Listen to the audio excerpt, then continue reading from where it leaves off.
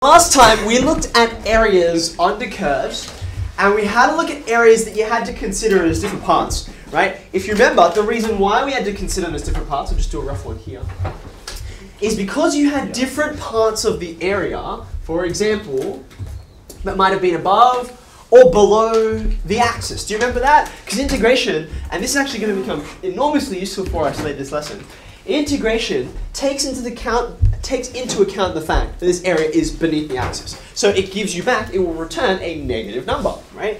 So therefore, if what I actually want is just how much space is it, you have to look at this negative and say, I, I don't actually want it to be negative. I want to slap a minus sign on that so I get a positive.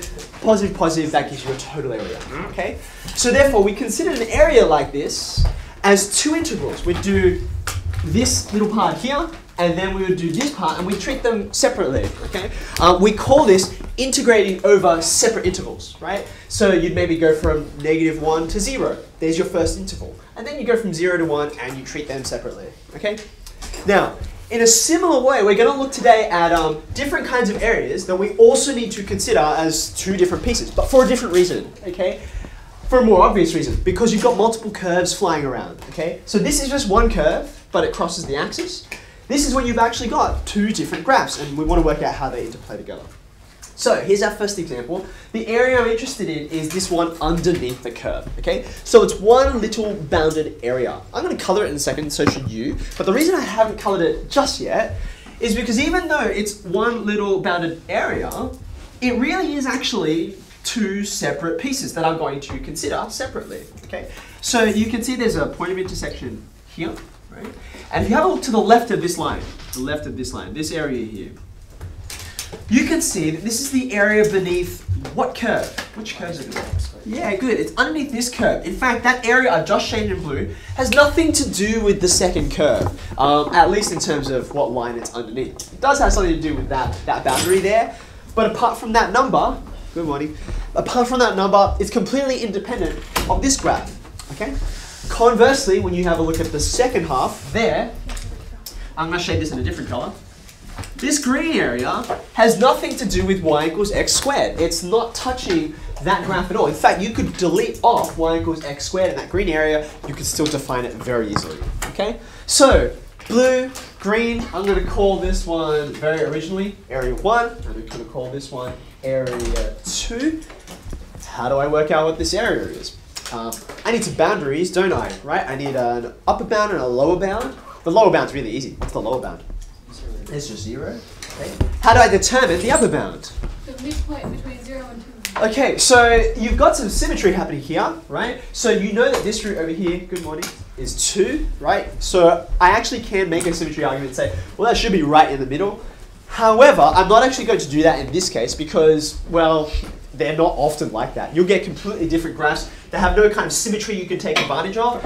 This point up here that defines the upper bound is really the point of intersection between these two graphs. Okay, so therefore, I'm just going to solve for when this graph intersects with that one. That's not too complicated. Okay, so let's quickly do that. I'll even write what I'm doing. The point of intersection uh, is when x squared is equal to x minus 2, all squared. So if we quickly expand this out,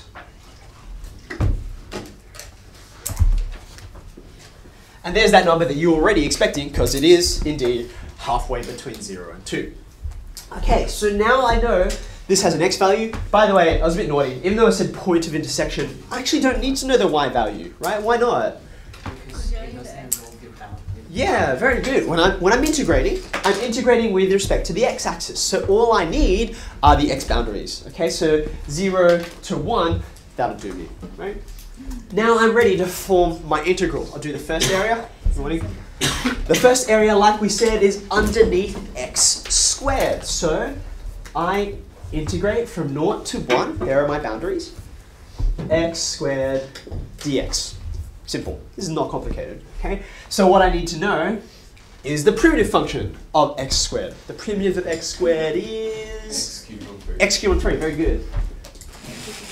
I know from experience you're probably going to be still a little bit in, man, am I differentiating or integrating mode? Can I encourage you in these, it's still fairly early on in terms of our understanding of integration. Um, you just mentally check every time you do this. Just go back and differentiate, right? Make sure you haven't accidentally differentiated from here to here. It's a very, bless you, common error. Okay. Great. So now I've got my upper and lower boundaries. That's a third take away zero. So there's my first area. Okay. Now, keeping in mind this symmetry that we were expecting before, I kind of have a guess as to what A2 is. But I don't have, like it's not actually an even odd function or anything like that, so I don't have any explicit symmetry I can take advantage of in those terms. So I'm just going to evaluate the integral, right? What integral should I write? What are my boundaries? One, two. 1 to 2, very good. And I'm going to be doing x minus 2, all squared. Okay, now at this point you have a choice. Um, you can expand this thing. I already know what it's going to expand out to. And then you can integrate the terms one by one. So there's three terms, it's pretty manageable, okay? However, I don't have to expand. I don't have to expand. And it's in my interest to practice integrating this without expanding, just in case, you know, a question is a bit prickly and they give me a power that I cannot expand, that it's not practical to do. This is just as easy to integrate using a reverse chain rule as this is, if I'm careful with it. Okay. Now, let me help you. Um, I'm going to give you a bit of a tip for using reverse chain rule because, like I said, it takes a bit of a mind shift. We're pretty good at just doing it with um, with an x term that's by itself, but when we see this, it gets a bit confusing. Okay. So here's what I remember. There's a power 2 there. So I think we all know that this is coming from something which has a power of 3. So that's going to be the primitive, okay? Now if I had this, right? If I was differentiating that, what would I get? What would happen? Three. Yeah, the 3 would come out front, very good. And then the power would reduce by 1, okay? So this is 3 something squared. And we're really used to seeing this because you've been differentiating for so long. If you saw something like this, um, 10, okay? Again, you're familiar with the pattern of the power comes out the front and the power reduces by 1. Really, really familiar with that, okay? So something you can do here to compensate is to say, well, out the front there, there's kind of a number missing, right? There's the number that's bigger by 1. Do you see that? Like this number is bigger by 1, this number bigger by 1, okay? So here's what I'll do. I'll have that integral still there, and I'll put the missing number there, 3. So this came from something cubed. but of course you can't just put in numbers because you like to put in numbers to make things easier to integrate. So in order to compensate for that 3, I'm going to put a one third out the front. So you can see this is kind of like the same thing we do with rationalizing a denominator. You multiply and divide by the same number, okay? And this compensates. This makes this in this easy form that I'm good at recognizing, okay? Um, and if it was a different power, I would multiply and divide by a different number, okay? So once I've got this, that third, that just hangs out the front. And now I'm ready to state the primitive function, right? It's 3 something squared. So when I integrate out, what did I differentiate from? And the answer is something cubed. That's all. Okay, so there you go. Not complicated, just an idea to help you. If you don't find that helpful, then don't worry about it. But I do find that as these guys in the middle get more and more complicated, this compensating idea becomes very, very useful. Yeah. What would happen if it was like 2x in the bracket? Ah, okay, great. That's a great idea. So, for example, if I started with this, uh, let's just make it um, that. Good morning. If I was starting with this, okay, I think two things. Number one, um, that's going to have to be a 3. That's where it came from, okay? So I'm expecting a 3 to be here. But because of the reverse chain rule, right, there should also be a 2, a 3 and a 2. So that's a 6 altogether, right? So I'm expecting this. Right, that's what I'm expecting. But of course I can't have a because when I when I if I started with if I started with I'm running out of space.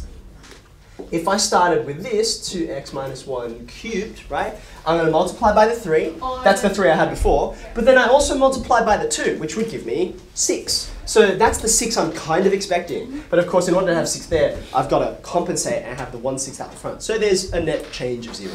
Okay? Um, so this would work fine. This would be a sixth 2x minus 1 cubed. Plus a constant because that's indefinite. So you don't need to times it by 2 or... Um, I have multiplied it by 2. I'll You see? So now, the, and again, the reason I can I know this is true is because just like I suggested over here, let's just take this guy and differentiate him to be sure, right? So that three will come out the front, and then the two will also come out the front, both of which will cancel this one sixth, which will give me exactly what I expected. Okay? So differentiation is going to be your acid test for did I get the right integral or not? And I'm going to encourage you as much as possible, mentally check back, mentally check back, because then you're doing both at the same time and you don't get stuck in one mode. You get used to changing between them because you do have to. Okay? All right, I think I'm ready to integrate. Uh, sorry, I'm ready to evaluate. Yeah. So what am I going to get when I evaluate at my upper bound? Zero. Yeah, good, because I got two minus two cubed, zero. What happens when I evaluate at my lower bound? I get, because I'm subtracting the lower bound, and of course minus uh, 1 cubed is minus 1. Okay, is that alright? See how I got that? That was 1 minus 2, negative 1, all good. So there's my double negative, there's 1. So there's the 1 third unit square that I was expecting from before because of this symmetry, right? I've run out of space down here, but you know what to do to finish this off, right? The total area is A1 plus A2, that's 2 thirds square units. Okay? Are you happy with that? And you can see how crucial it was to form my argument off of a diagram, right? Ah, Are you sick of me saying this yet? Your diagram needs to be clear, so you can see where the point of intersection is and calculate it. Your diagram needs to be big enough, big enough that you can divide it up into the different parts and you can distinguish them, okay? And you can also like name them and then use that in your work. Okay?